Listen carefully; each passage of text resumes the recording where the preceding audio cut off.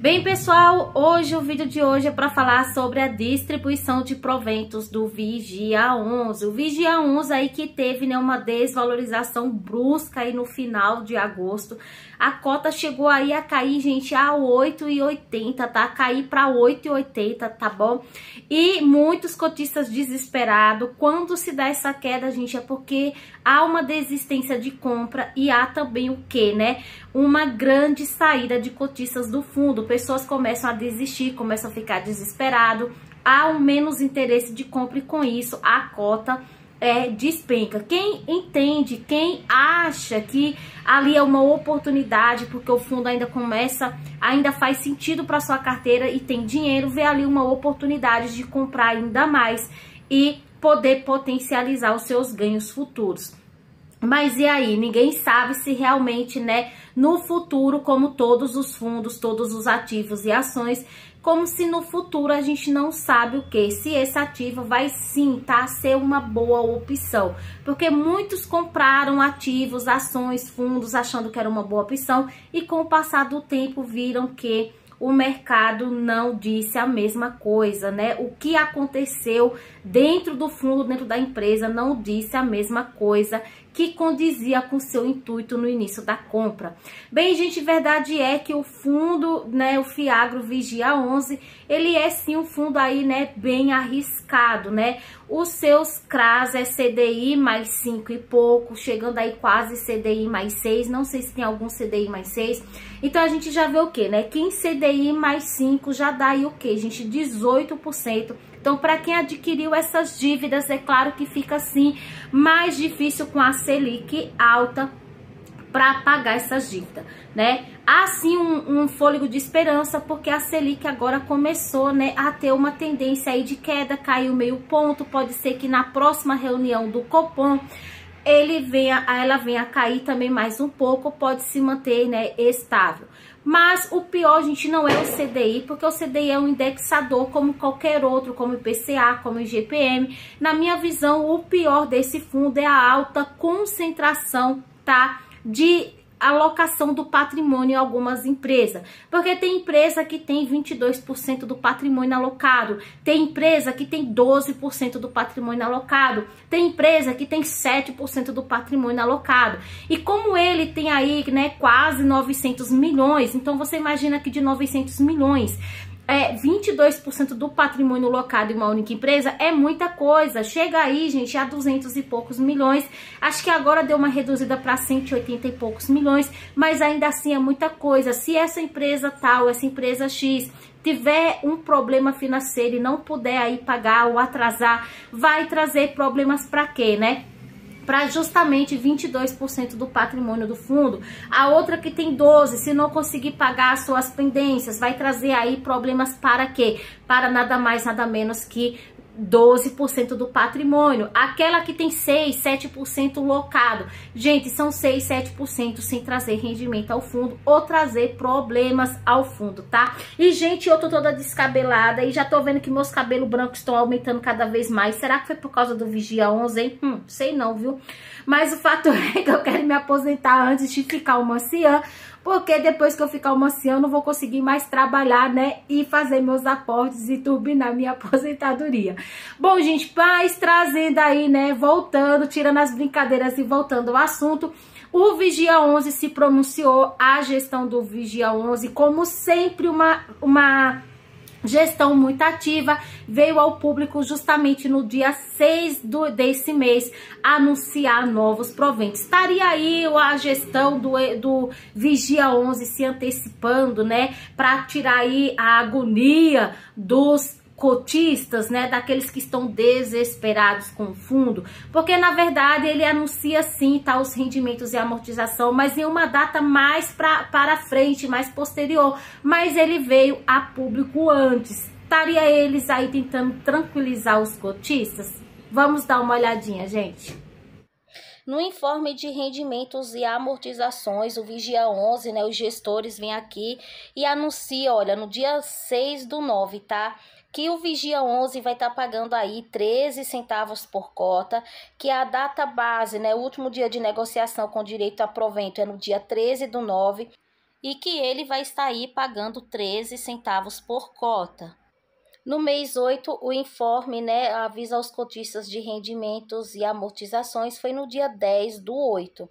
Já agora, no mês 9, né, eles se anteciparam e trouxeram esse aviso aí no dia 6 do 9, né? O que para mim leva uma suspeita aí de que eles estão querendo acalmar os cotistas, que tá, né, na visão deles está tudo sob controle que o fundo, né, até o presente momento não caiu os rendimentos. Bom, nesse caso, né, o fundo estava aí, olha, 9 e 29, tá? Isso no dia 6 do 9, eu acho que justamente por conta desse aviso, o fundo aí, né, deu uma valorizadinha a mais na cota. Ele já teve aí, né, bem mais descontado, ele chegou a 8,80 e como vocês podem ver, né, isso aí foi no final do mês passado, tá? No final de agosto, tá? Ele chegou aí a 8,80, foi a sua mínima, e agora ele se recupera aqui, né, chegando aí a 9,41. O preço hoje da cota é de 9,41, o mínimo e o máximo em 52 semanas foi de 8,80 o mínimo e 10,64 o máximo. O dividend yield está aí em 18,28% e nos últimos 12 meses teve uma desvalorização de menos 8,55%. No mês atual, valorizou aí 2,51%. Então, a gente viu, viu que teve uma grande queda. Quando valoriza, tem essa valorização aí, né, do mês atual. O seu valor patrimonial é de 9,51 centavos, o seu PVP está 0,99. Ou seja, o PVP é o indicador que nos indica se o ativo está sendo vendido caro, barato pelo seu preço justo. Considerando que 1 é o preço justo, então 0,99 está com 1% de desconto. Ele tem um valor em caixa aqui de 5,75%, totalizando aí 47 milhões 304 mil 562 reais e centavos. Número de cotistas 138.563, número de cotas 86 milhões 455 117.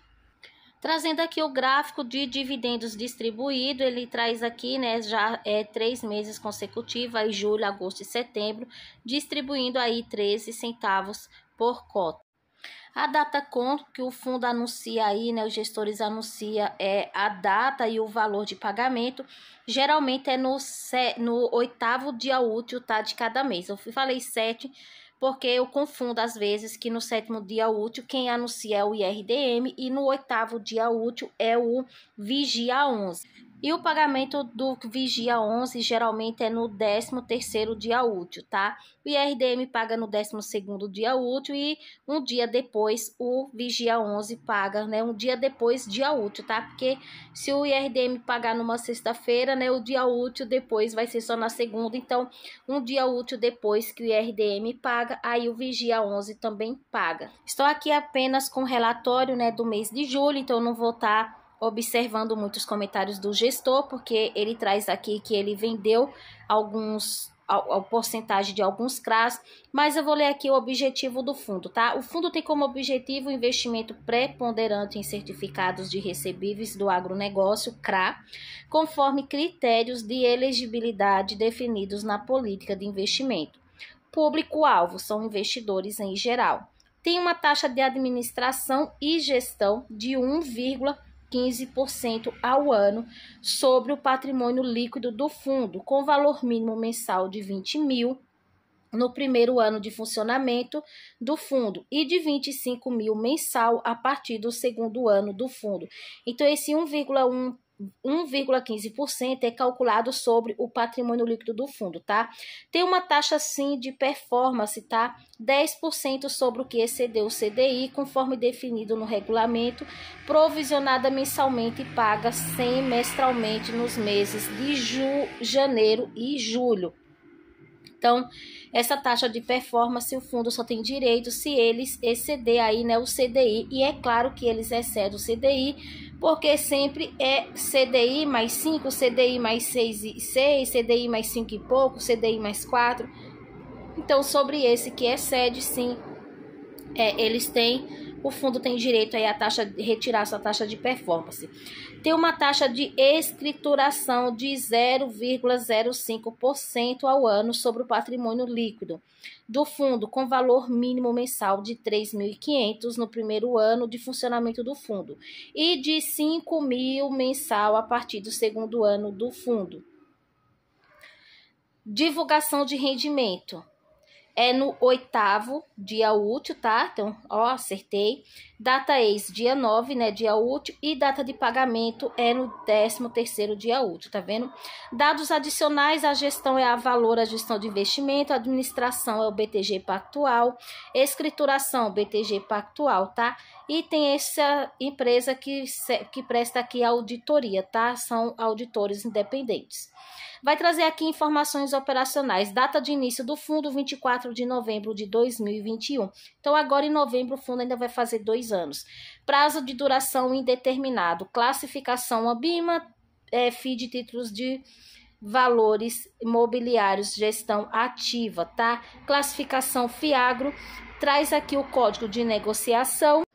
Bem, gente, eu tenho 150 cotas no momento, o preço atual é de 9,41, mas o meu preço médio por cota é de 9,52. Então, eu tô perdendo aí 11 centavos por cada cota, tá? Nesse momento, isso a termo de valor patrimonial, tá, gente? Nesse momento, eu vou receber aí, né, o valor de R$19,50 ainda não está provisionado na corretora, porque só vai ficar provisionado quando realmente, de fato, é eles anunciar é o valor na Datacom. Mas, baseado no que eles trouxeram a público, eu vou receber o que eu recebi o mês passado, que foi R$19,50. Gente, eu confesso para vocês que hoje, na minha visão, tá? Eu ainda não decidi se eu vou vender esse, esse fiagro, mas hoje, na minha visão, eu não colocaria mais um fundo, tá? Seja fundo que fosse, rendimento que fosse, com concentração do PL, tá? Esse negócio de concentração é muito importante a gente observar, tanto concentração de imóvel, tá? Em uma determinada cidade, ou um só, ou um só inquilino, é, quando se trata de fundos de tijolo, ou nesse caso, né? Gente, é fundo de dívida, tá? Quanto mais ter o PL diluído, melhor. Então, quando você pega e você vê ali que o fundo tem 6 em um, 7, 8, se tiver 6 em um, ainda dá para levar mais 6 em um, 14 no outro, 12 no outro, 22. Gente, isso, isso é péssimo. Isso é péssimo porque até quem tem a lâmina de dívida bem distribuída pode sim dar problemas, né? O IRDM teve problemas aí com uns para receber, a sorte é que era pouquinha porcentagem. E mesmo assim deu defasagem nos rendimentos. Imagina 12, 6, 22% do PL sem trazer rendimento ao fundo. Isso não só vai tirar o que? A, o rendimento, como vai desvalorizar, vai fazer o fundo derreter, né? Bom, isso é a minha visão, tá bom? E é isso, pessoal. É por isso que hoje, se eu fosse comprar hoje, eu não colocaria mais o Vigia 11 na minha carteira, tá? Isso não quer dizer que é uma má gestão, tá? Teve aí esse probleminha, não sei, de ganância tal mas a gente vê que é uma gestão ativa. Com esses problemas, eu acredito que eles estão mais antenados, porque estão se esforçando para vender alguns CRAs. O fato é que é uma gestão ativa, esperta, e a gente espera que para os próximos capítulos isso venha a melhorar. É isso, pessoal. Esse foi o vídeo de hoje. Espero que vocês tenham gostado. Até a próxima. Se você gostou, se te acrescentou de alguma forma, algum conteúdo, alguma coisa, trouxe valorização, agregou algum benefício, não deixa de curtir, tá bom? Tchau!